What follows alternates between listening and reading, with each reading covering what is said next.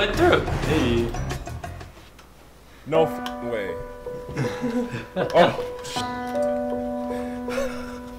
Dang, this dude can cry pretty well. oh my god, dude. Nice. Mr. Beast, thank you so much, man. Don't lose the game. It's not worth it. It's only six grand.